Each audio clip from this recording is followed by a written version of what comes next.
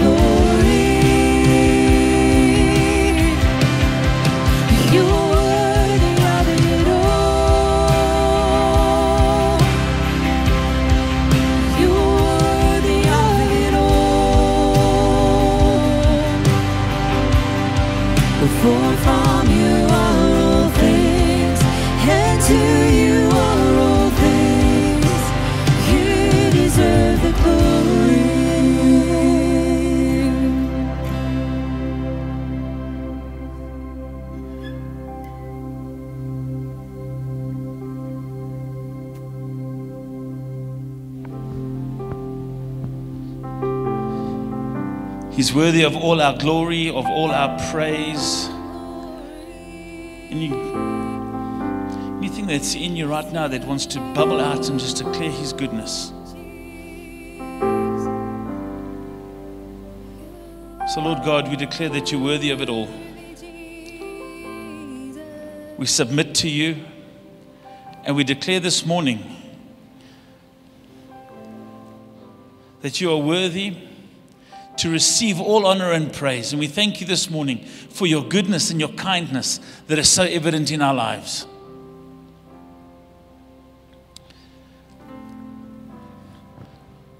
This week, one of our leaders had this prophetic word, and it was she woke up with this, uh, with a sense of God saying and speaking to her about CPR.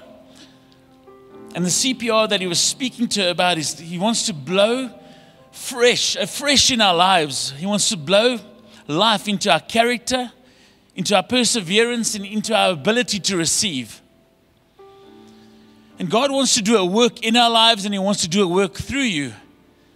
And in this time, He wants to work on your character.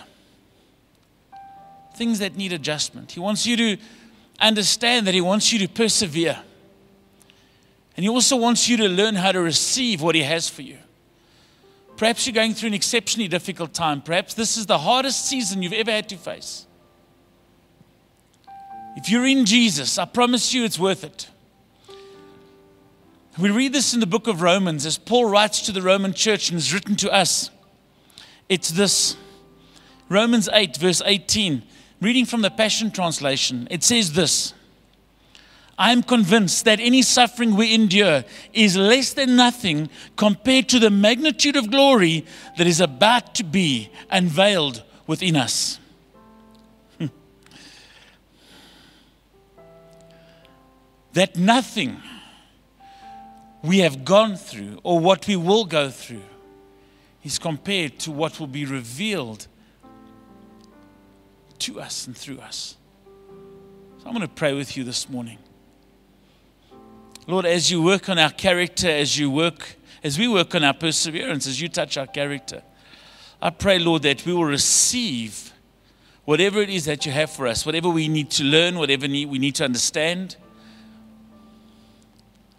Lord, I pray that you work in our hearts and in our lives, that nothing will be wasted. That we can settle in our hearts that what we are going through now is nothing compared to the glory that awaits the sons and daughters of the Most High. Lord, I pray, breathe your life over every single person listening right now. Just breathe over them, Lord. I speak over everyone that feels as though they're being suffocated, as though they're being drowned, as they don't know which is up and which way is sideways, as they've been overwhelmed by the challenges, whether it's financial, whether it's health, whether it's just processing how, do I, how to get our kids through school. The ups and downs, Lord, I pray your life to be breathed over them. Holy Spirit, you to be breathed into us. Just a refreshing.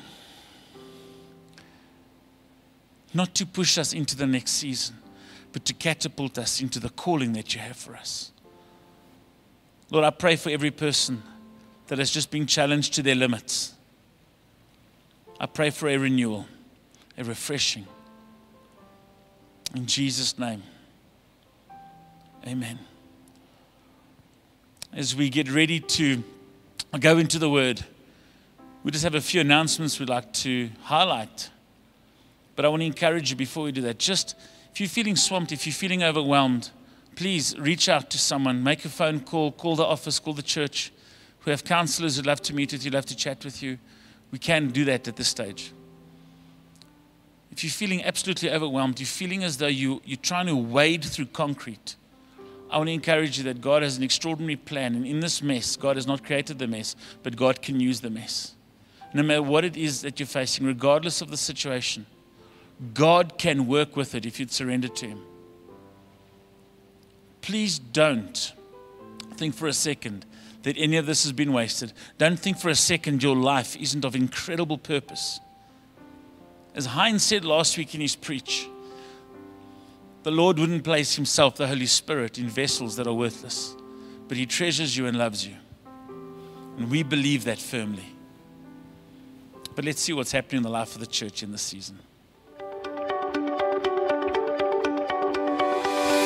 Good morning, everyone, and welcome to Lighthouse Church.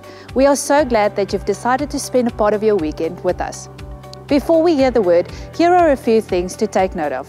On Tuesday and Thursday nights at 6:30, we have our Zoom prayer meetings, and on Wednesday nights at 7 p.m., we have our life groups, also on Zoom. For more information, please contact us on WhatsApp or on email at admin at lighthousechurch.co.za. Have a great day, Lighthouse Church.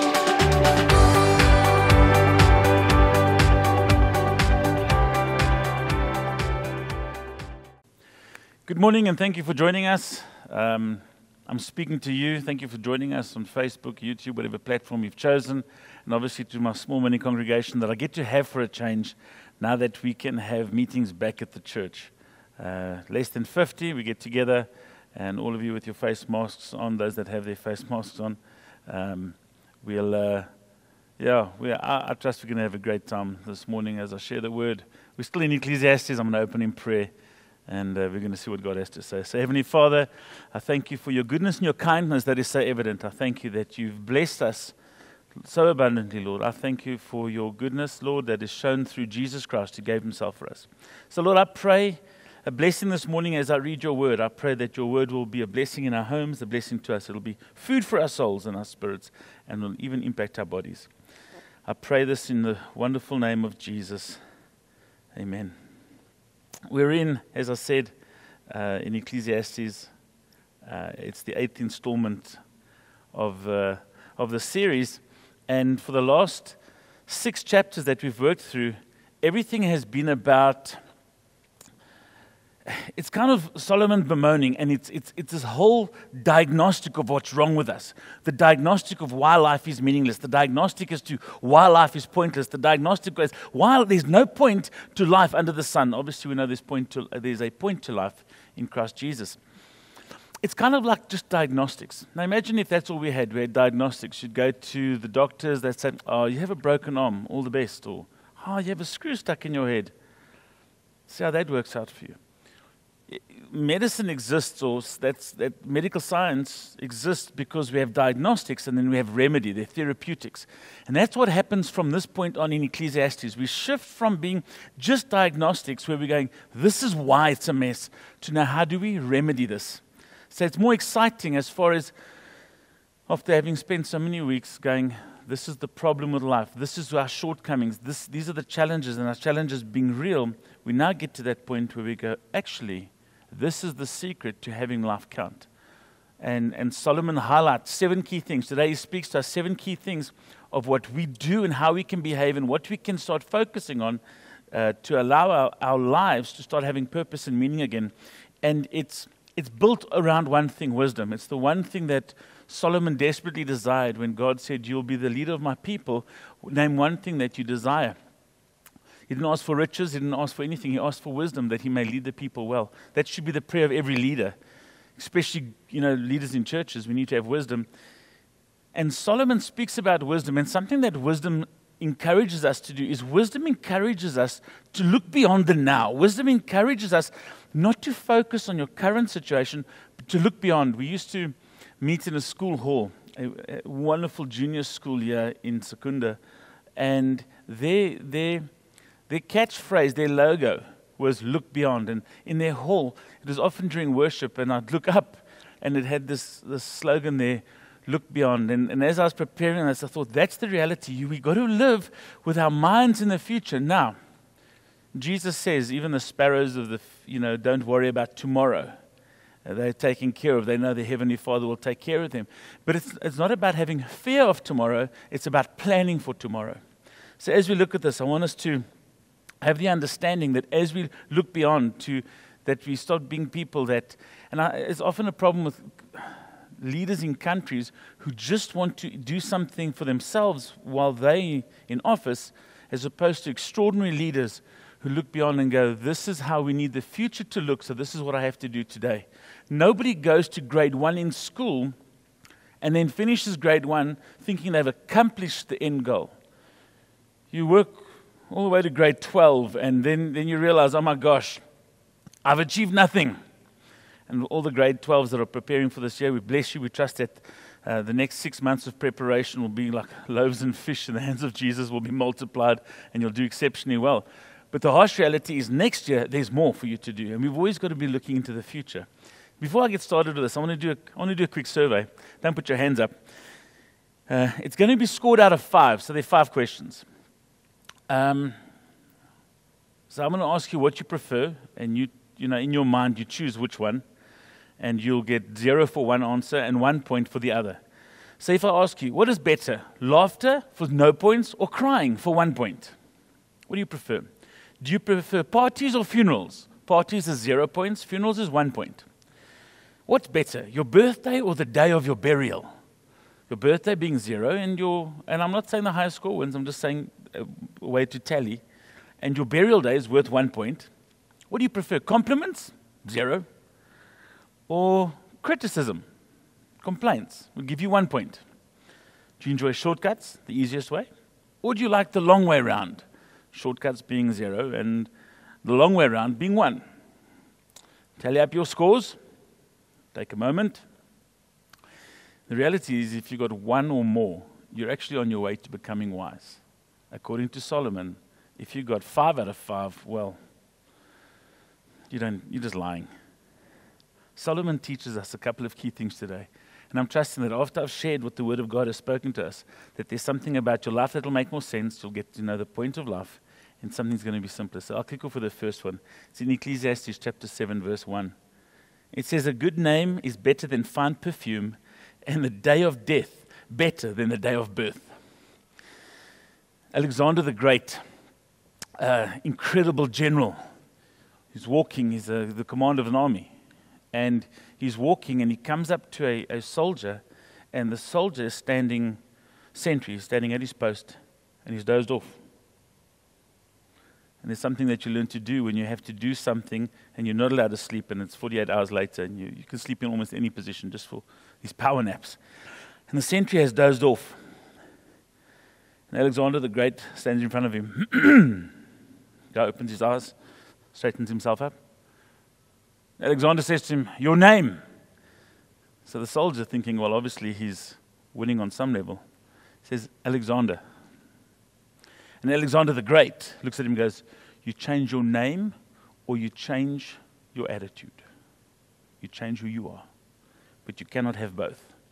There's something that's biblical about this.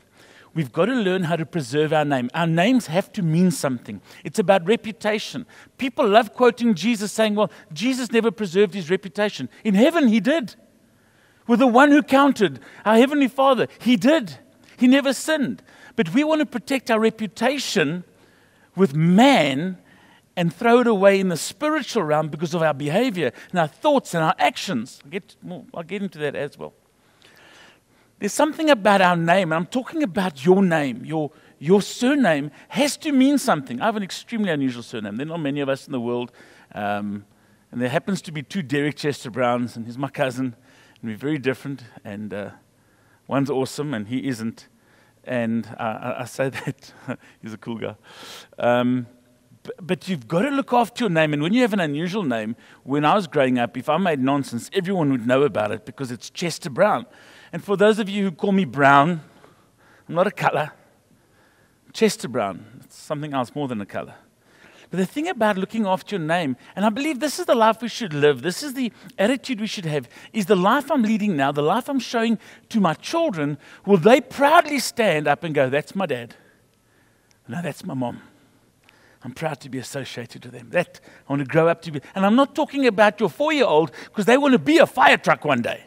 I'm talking about I watch his character, I watch his behavior, I watch his attitude, I watch his habits, I watch her mannerisms, I watch the way she deals with dad, I watch the way she's a wife. And that's who I want to be. Are we preserving our name as far as our children having legacy?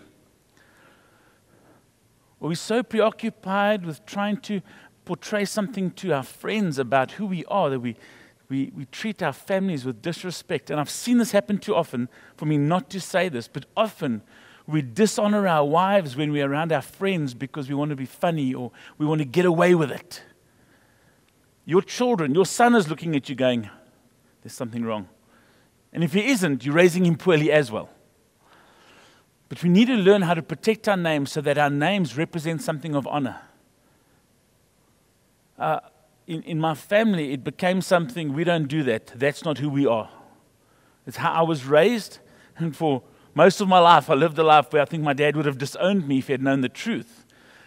But in reality, he had, he had seen a side of me which I'd allowed him to see. It was all fake when I was living an absolute disastrous life. But I live a life exposed now to my family where they go, I want my children to say, that's who I want to be like. The good stuff. Obviously, the bad stuff, I teach them better. But are we preserving our name? And it says the name is better than precious perfume. Now, perfume is not the kind of, in those days, it's not the stuff you'd go to whatever shop, a red square, and go and buy it would be something that would be processed, and it was so expensive. We know about that story of Jesus when they, the, the woman breaks the alabaster jar of perfume over his feet. That something that she could hold in her hands was worth a year's salary. Um, so she trades a year's salary to worship Jesus, where Judas trades the price of a slave to betray Jesus. She goes, Yeah, this is how, this is how I value Jesus. It's this expensive perfume. Scripture speaks about your name is more valuable than expensive perfume. The reason for that being is perfume is something on the outside that makes you smell nice when the inside might be stinking. A name is something that no matter what you smell like on the outside, the character on the inside is something worth having. And that's what we display. We talk about first impressions. When you meet someone, you walk into a room, there might be a nice aroma, and you There's something, the person smells nice. I, I enjoy nice odors. We, we had an incident at the church, not in the church, not because of the church. And uh, one of our neighbors the sewer pipe is blocked, and you'd walk in here and you'd go, Demon. Now they're remedying it. The first impression is, I don't want to be here. When it smells nice and fragrant, but that's just the first impression. That's not the building. Your first impression that you're giving people, that's not who you are if all you are is a nice smelling little perfume. It's your character, it's who you are. I've walked past, you know, it, it's, it's crazy when you're fasting you can walk past anything. that can be cooking a, a, a, rat on the side of the road, and you catch the smell, not the burnt head, but the smell of the meat. And you start salivating, and you're hungry, and you think, oh, it'll taste so amazing. And then when you see it, you realize there's a problem, and all of a sudden you realize fasting is not a bad idea. But uh, there's some restaurants in our area, and some of them are not great, like in any place. But when you walk in there, there's this incredible aroma. There's a steak, something being seared in the background, and it doesn't smell great. I mean, it smells amazing, but then you get it and it's not that great. That's kind of like character. People might smell something, but what they get's different. The word says it's more important that what's inside of you is what defines you as opposed to what you put on the outside that you're trying to impress others with. Is your name being preserved? By the way, we have an incredible restaurant in Secunda. If you ever visit, I'll take you there. And um, not to everyone, that's not an open invitation. Uh, maybe for those that are sitting here. And it's funny, when you walk past there, there's actually no smell of what's happening in the kitchen. They're getting the job done. And the, su- the, the food they serve is just incredible.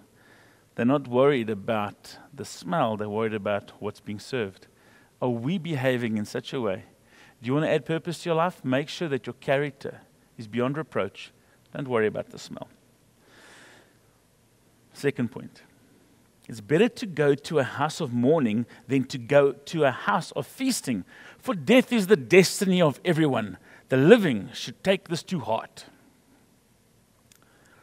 Um, there's a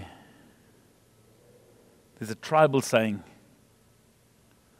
that says, "At your birth you cried, everyone else rejoiced.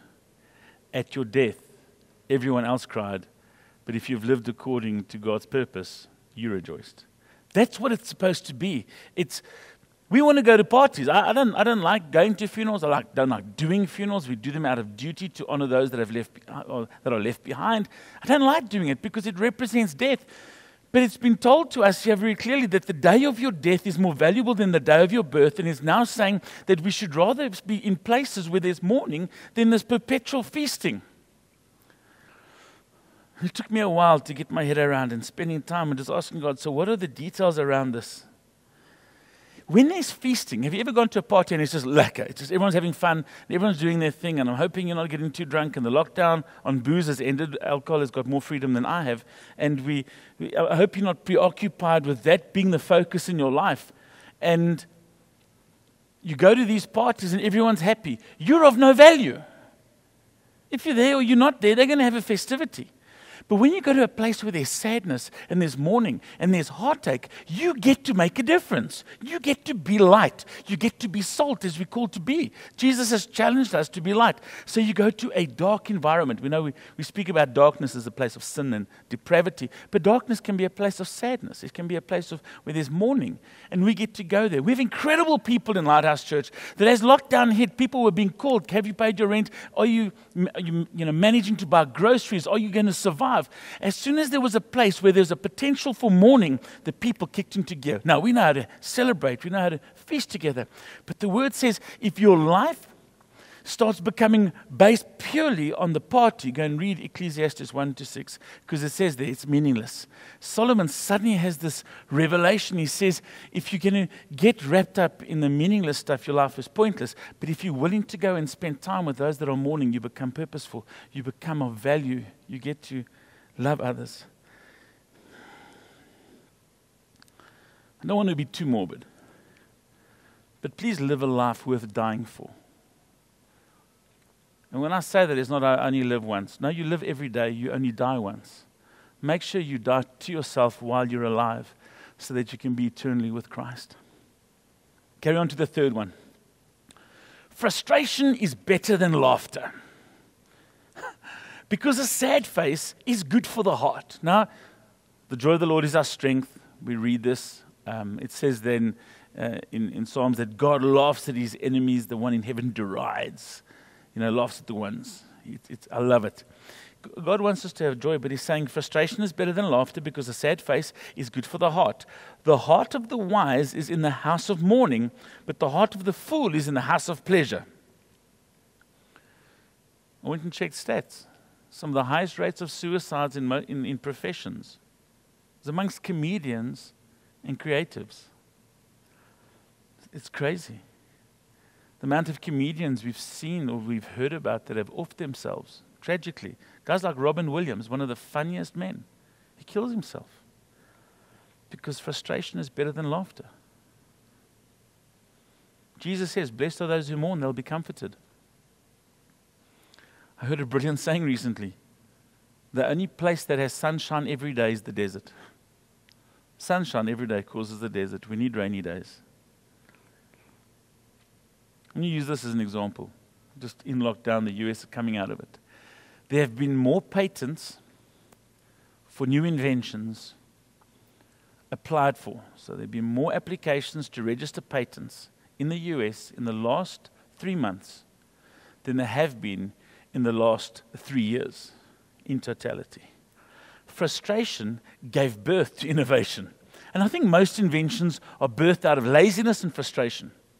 Uh, it, it's because we, we want to do something better and bigger and grander or faster or easier. That frustration gives birth to something. It's, I don't want to walk, so I ride on a horse. I don't want my butt to get sore, so I have a horse carriage. I want to go faster. There's a steam uh, engine, so we use that on tracks. Then we go into cars, then we go into bikes, and now it's, it's, it, this frustration can give birth to innovation.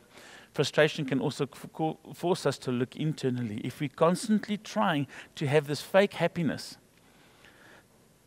this false happiness, no one ever steps in and comforts you. Jesus says, Blessed are those who mourn, they'll be comforted. People go, Oh, no one's comforting me because you come into church with your mask on, and I'm not talking about this thing that's trying to suffocate you. We come to church with masks of happiness, and no one steps in to comfort you be, be, because only those who mourn will be comforted. There has to be something. You want to see something shift in your life, start being honest with the right people. Start speaking about what you're going through. Frustration is better than laughter because a sad face is good for the heart. That's what it says. So maybe sometimes we don't always have to be happy. That we can say to each other, actually, I'm not doing well. It's good for the heart. The fourth one, verse 5. It is better to heed the rebuke of a wise person than to listen to the song of fools. So, to heed, it's to listen to and respond accordingly. So, it's better to listen to and respond accordingly to the challenge or the convicting speech of a wise person than to listen to the song of fools. Like the crackling of thorns, I'll explain that to you now. Like the crackling of thorns under the pot, so is the laughter of fools. This is meaningless. Extortion turns a wise person into a fool, and a bribe corrupts the heart. So pay attention to who's fueling your ego. They're movie stars. They're famous people that have the craziest requests. I went and checked out. I cannot quote it. It's preposterous. They're movie stars that you've got to have certain things. They were famous. I'll give you this example. So Van Halen, the hardcore rockers, couldn't eat M&Ms that were brown. If there were brown M&Ms in the packet, they had to take them out. You see, too many people were telling them how awesome they were, so they start becoming fools. Movie stars, I can only have that color flower in the hotel. And, you know, Paul McCartney, if there's even a synthetic leopard print, it's going to kill an animal somewhere in the world. It's preposterous. Just be normal. But they've had too many fools cheer them on. So Van Halen can't have the brown M&Ms, then the white M&M, the artist M&M. He insists on drinking water from some area in Poland. The guy grew up on the streets. Now, all of a sudden, it's because someone's cheered him on. It speaks about the thorns crackling under the pot. In South Africa, we have this magnificent tumbleweed. And you can take this tumbleweed, it's this big bush, and when it's nice and dry, you can see it kind of rolling over the dry areas in our country. And you can take that and you put that on the fire, and it makes it, it's majestic. It'll crackle, it'll pop, it's a Rice Krispie of fire making. It goes, it has these big flames, and within less than a minute, the flames are gone, and you have ash. That's what the praise of fools will do. It's all glorious in the moment, but will not feed you. If you're living a life for just people to praise you all the time, it's going to leave you with ash, nothing sustainable. There won't be a fire in your life. But when you have somebody who is wise and who cares about you, who's been through things, and often it's the older folk that challenge you on something. Now, nobody likes to be criticized. Nobody likes having their faults called out of them and say, the, but if we can take it, we're people that are wise, and you've got to be careful who you listen to. Um, um, I think it is John Wesley. I might be getting the person completely wrong. I'm sorry if I am. It's a good story regardless, but it was John Wesley, I believe, who had this woman attend one of his messages, and she sat there scowling at him the whole meeting. And after the meeting, she, he said to her, What seems to be the problem? She says, Your bow tie. It was skew. It was lopsided. It was hanging on the one side. He says, Ma'am, I'm so sorry. Yes, I'm very, uh, it was a distraction. He says, Hang on one second. And he, he ordered, ordered, someone to get small shears, obviously a, a large pair of scissors. He said, Ma'am, please correct me. And he gave her the scissors, and she, she took this bow tie that was hanging, and even, and she trimmed it. He said, Thank you so much, ma'am. May I do the same to you? And she looked at him and said, Your tongue is bothering me. May I do the same? Now, I'm not saying we, we're that confident or aggressive, but in places where people can correct us, people that are wise, people that have experienced more. If you're in business, get an experienced businessman to speak to you, and he's going to tell you stuff that you're not going to enjoy hearing because we want to do the easy things, and he's going to tell you stuff. I love it when the older folk challenge me. You mustn't do that. And I'm not talking if it's just about style. Uh, style is a different thing. I'm saying sometimes a person, and that could be younger than me but older in Christ, that can have wisdom. This is, I love this thing that uh, King David writes in Psalm 141, verse 5. Let a righteous man strike me. It is kindness. I want, a, I want a righteous man who walks with God. Punch me in the face. It's him showing kindness. Let him rebuke me. It's oil for my head. Let my head not refuse it. it's oil on my head, but let my mind not refuse it. He's speaking about when Nathan the prophet challenged him, saying, You're stuffed up, dude. You can't do that. And he challenged him, but it brought healing. There's some the instances where we're going to be challenged. I have incredible people in Lighthouse Church that when they've gone slightly off track, and some of you have gone way off track, and I've challenged people, and sometimes we get miffed with each other, and then people leave, and then they come back and they go, actually, uh, and it's not my opinions, it's, you know, obviously we'll just chat it as a leadership team, but, and then people are restored and they're healed. That is the secret that we need to embrace to having a good life. This is not freedom to give, to have, you know, you to be critical. What it speaks of really is to have people in your life that are not just yes people, not just this tumbleweed, not these thorns that'll make a big puff of fire, but people that you trust and you allow them to speak into your life. I have friends and I say to them, So, what do you see? What am I doing wrong? I have pastors in my life that aren't in the church, that aren't local, that I say, This is what I'm going through. What do you see in my life? Speak into my life. It's kindness that.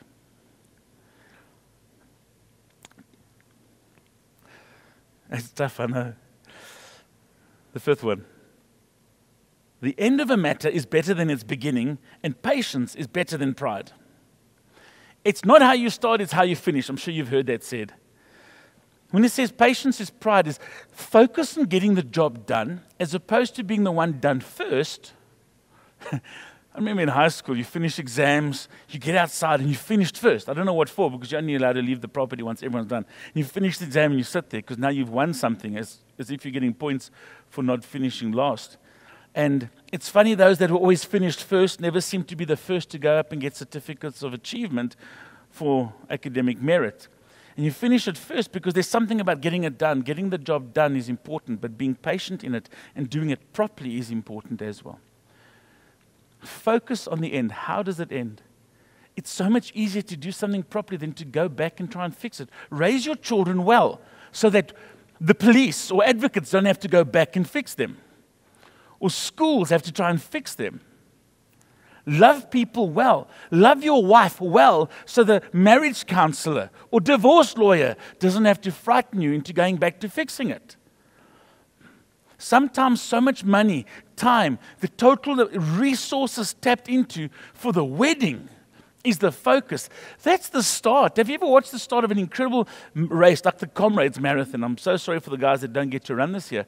But the, the start of the race, everyone's equal. You're there. You might be standing two kilometers back because you, you know, that's where you place. But you start as equals. It starts, you go. It's how you finish place all this emphasis. I'm getting married, and suddenly you're married, and then you've got to make it work. If you put as much emphasis every single day on married life as you did on the preparation to the wedding, you're going to be fine. If you woo and you love and you care every single day the way you did in preparation, the start, it's going to be fine. Don't get so wrapped up in how it starts. Get wrapped up in running it well so that you finish well. Going back to repair the mess is more frustrating than doing it slowly and getting it done properly. The sixth one. Oh, oh, this is my tough one. I can do, I think I can do the others moderately well. I'll hit the 15 to 20% of there. But this one, and my family's staring at me as I speak. Ecclesiastes 7, verse 9. See, the danger for me is I'm going to quote this and my wife is going to quote it back. Do not be quickly provoked in your spirit, for anger resides in the lap of fools. Ah, I'm not an angry person. I'm not an angry person. I don't make myself angry too often. And when it says about anger is in the lap of fools, it's like it's there, don't touch it. It's there, it's waiting. It says in the New Testament, do not sin in your anger. So you're allowed to get cross for things. There's a Jesus, you know, he braids a whip and he, he, he sorts out uh, guys that are selling blemished animals in the temple. But when it speaks about this, do not be quickly provoked in your spirit. Whatever's in your spirit will come out as soon as you're provoked. And there's certain, so I have certain values, and I, am a highly opinionated person, and uh, I understand opinions are like armpits. Everyone's got at least two, and uh, most of them stink. And I, so I have my opinions, and I have my, you know, we all have our preconceived prejudices, and often our prejudice is based on a set of values and morals that we hold dear to ourselves. And it was quite a while ago, and uh, Heidi and I had stopped at a filling station. It was late one night, and I could see the, the petrol attendant violently attacking uh, a patron. The, the petrol attendant was hitting the patron, the guy that had just put fuel in his car with a brick. Uh, the guy that had just put fuel in the car, he had grabbed a bottle, he had broken it, and he, you know, he's trying to defend himself. But really, I could see that the aggressor was the petrol attendant. I didn't know what they were shouting at each other. It was in Zulu, and they cursing each other. So I step in to, to help the situation, and I, I stop the fight. Um, and I just tell the guy, get your, you know, drop the bottle, we take the bottle off him, get him in the car, just, just leave. This is aggravating the situation. Now get the petrol jockey to go back inside. Stop the fight because I hate bullies. The, the fact this guy was going to kill him with this brick. And uh, i get the guy in the car to leave, and I'll go back inside, feeling uh, now I've done something. The anger in me provoked me to respond. It's a good thing. I, in, the, in the moment, I thought it was until the petrol attendant calmed down and said to me, No, that guy had just filled his car with fuel and he denied putting petrol in his car. I had gone inside, he had asked for a 100 Rand, it was running, it was supposed to click off. He filled his tank and said, No, he hadn't asked for it. You just let the guy with a full tank of fuel drive away.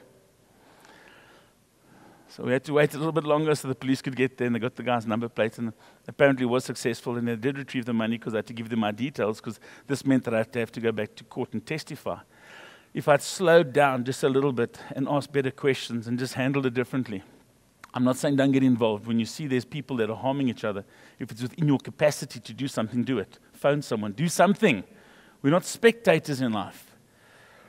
But if I had allowed my anger not to be as quickly provoked to just step in, and it's, it, you know, in the, mo- I mean, I can give you way worse examples of anger. I, I can give you exceptional examples that I don't want you to know about anger. I'm using one where it actually didn't work out well, where it, it, it seemed like a noble effort. Guard your heart when it comes to anger, how you respond to things. Do not be easily provoked. You're going to be provoked. You're going to be challenged. How you respond.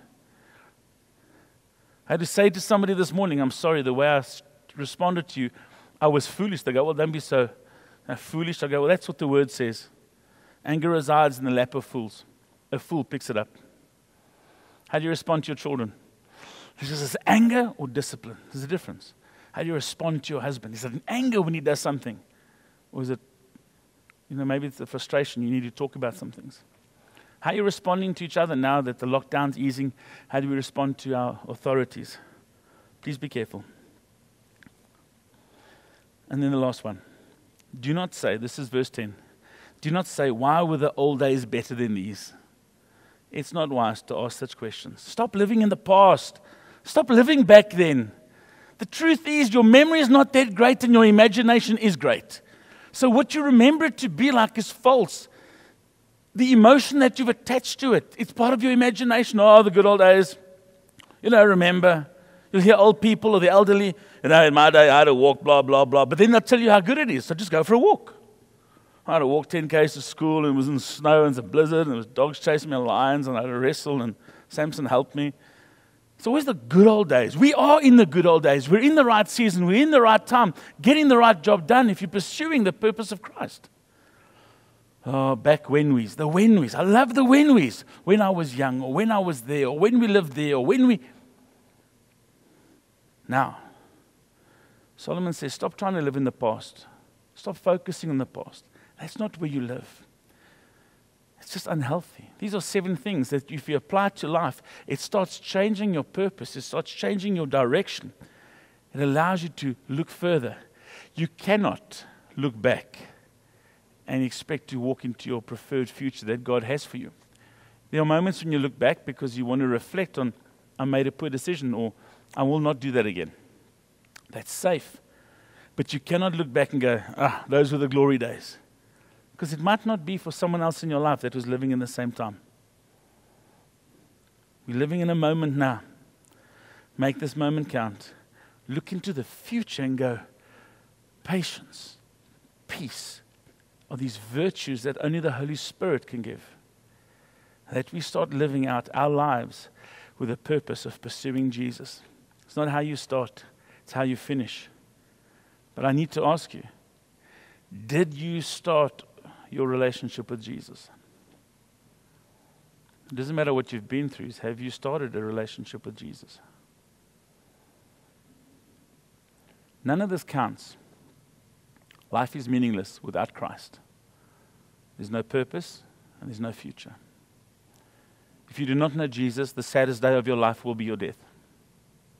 And the life you have lived will be the highlight of your eternity. But in Christ, the highlight will be your eternity. And this moment, this temporary suffering on earth, will be a, a breath. Let's pray. Lord, thank you for giving us seven key remedies of how to transform a meaningless life into one that is purposed to exalt you. You're praying with me this morning and you've never given your life to Jesus, if you've never made a commitment to follow Him, if it's you, perhaps you've been religious all your life, but you've never made a public or maybe a, a verbal confession of your faith, I want, you to, I want you to pray this with me. I'm going to have the words come up on the screen so that you can see and pray with intent. And it's about you giving your life to Jesus. And as you surrender to Him, you, He will patiently walk you through it. He doesn't expect this sudden transformation, He transforms you in an instant into a, a child of God. But He'll walk patiently this process with you. So, would you pray this with me, me please? It's, if you just pray, Father God, Thank you for sending Jesus to die for me, to pay the price for my sins. Dear Jesus, I know that I'm a sinner, and I ask for your forgiveness. I believe you died for my sins, rose again from the dead. I turn from my sins and invite you to come into my heart, to come into my life. I want to trust you and follow you and serve you. Serve you as Lord and Savior. I ask you, God, to give me your Holy Spirit, to be filled by Him and baptized in Him, to make me a child of God. There is no other God but you.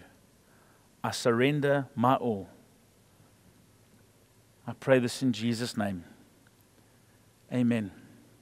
If you've prayed that prayer, please contact us. Please contact the office. Get hold of us on social media. We'd love to hear from you. Tell a friend that you've given your life to Jesus. It's the most important decision of your life. If you're not in Lighthouse Church, if you're not in the area, please get into a Bible believing, spiritful church so that you can carry on growing into the likeness of Christ. We thank you so much for joining us today. But don't dial out yet. We have something really special planned for the kids and possibly the little kiddie that still lurks somewhere inside there. Have a wonderful week. I just wanted to make this announcement, um, and it's more just a, an appreciation message.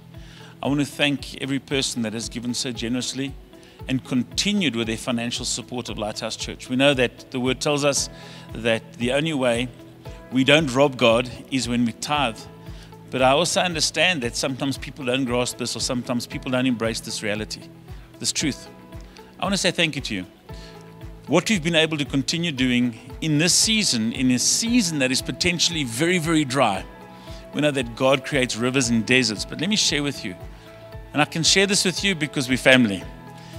But the rent is paid, the salaries are paid, and we have been able to give, it is now, I can say with confidence, hundreds of thousands in rands to those in need, the poor, the needy. We've been able to clothe people. We've been able to show that God is their provider through Christians being obedient to the Word of God. I just want to say thank you. Um, often, as churches, and I speak generally now, we often invest a lot of time in trying to convince you to give, or we spend a lot of time trying to coax you uh, to give. I just want to say thank you. You've made it an absolute pleasure to lead this church. It's an absolute privilege to be part of this wonderful team that's called Lighthouse Church. And I want to say thank you this morning. Um, it's, it sounds like a significant statement just to say thank you.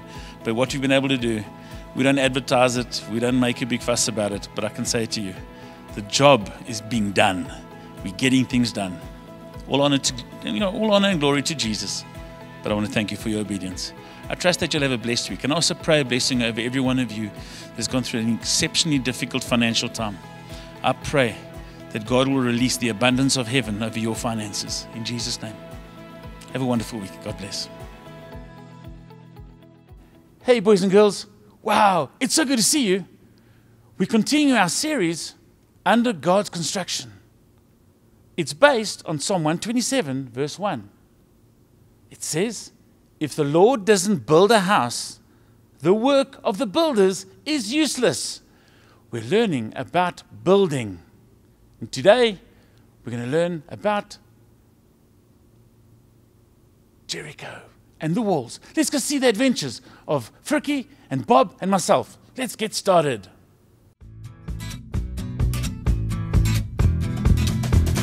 We're gonna have fun with Bob and Fritz, even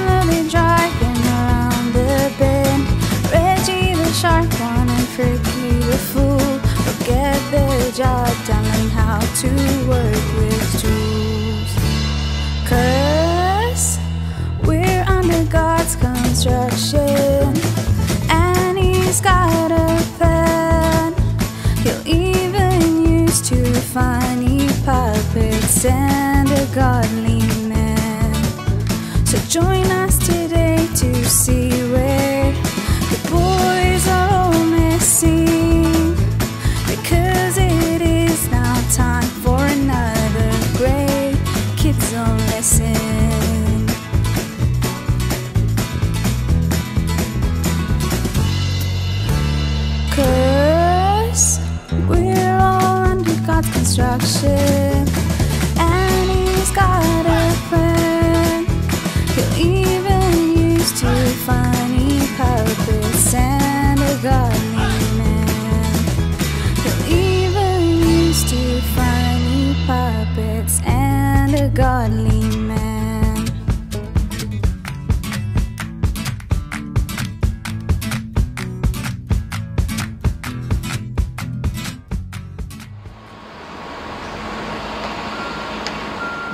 ou gebou is in die pad. Een van hierdie torings sal ons moet platslaan. Julle weet wat se tyd dit beteken. Dus Demolition time! So, we got to get it out the way. Ons moet dit uit die pad uithaal ja. Frikkie, you love demolition. Yes, I do. I came in No, like a. no, no, no, no. Okay, so your favorite way of demolishing things, Frikkie, is A wrecking ball, obviously. Wrecking ball. Hm, okay. do I've got a, I've got a, uh, I've got a, I've got a video about it. do you really have a video? Yes, Let's watch it. cool.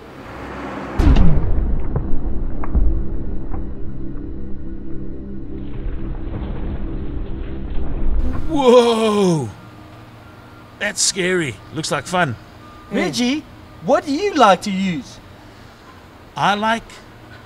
I'm like Thor. I like the hammer. Whoa, watch this video.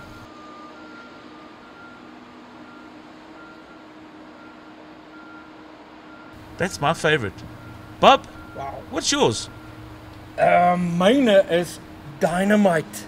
Dynamite. That's scary. We can't play with that. Nope. Kom ons kyk hoe dit lyk. Sounds clear. Three, two, one. Fire.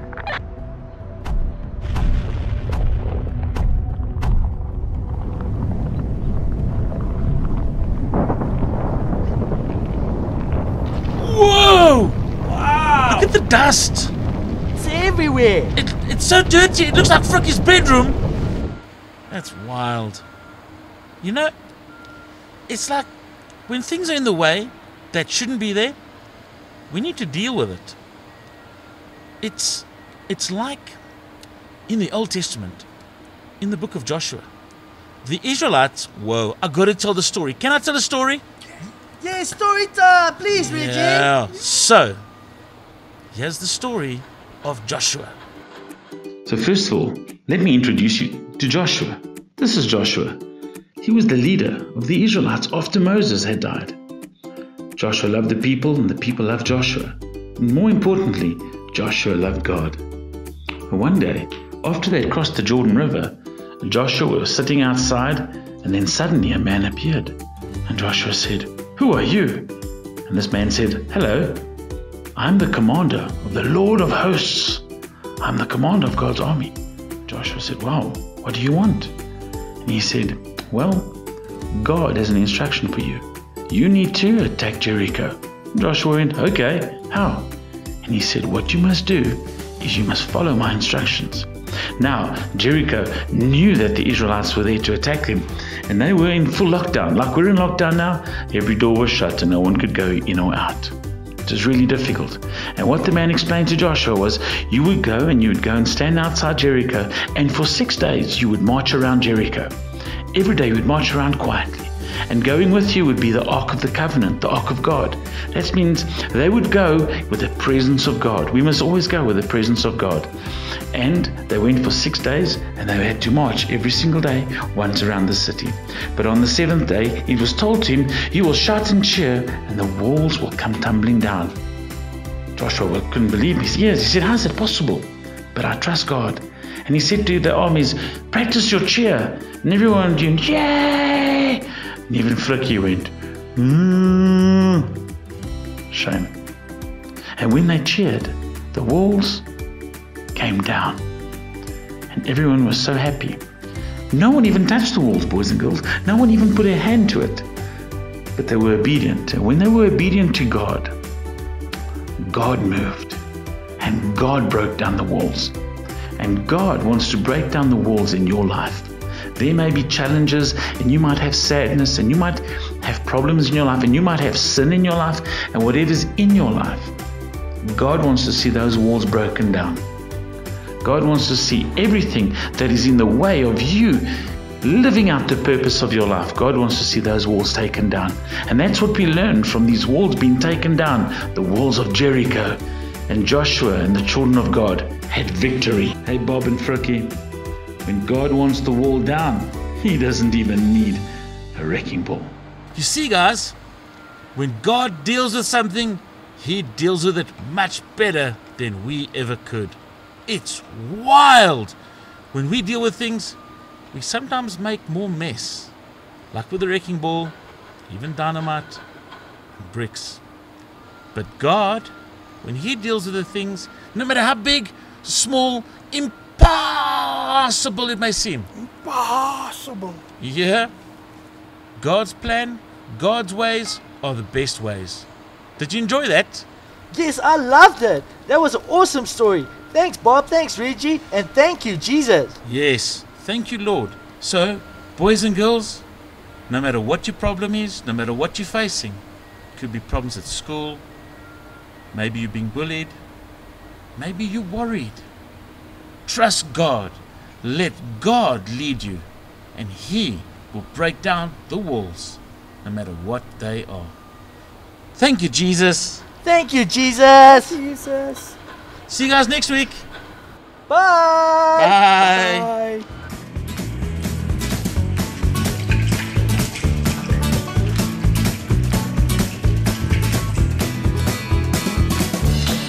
Remember, kids, to Wash your hands with soap and water, get them nice and clean. And don't forget your face mask.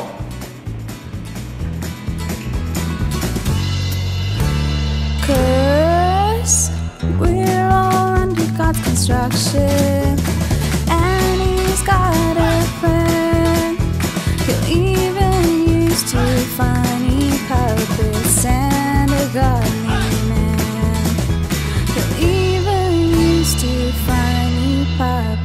and a godly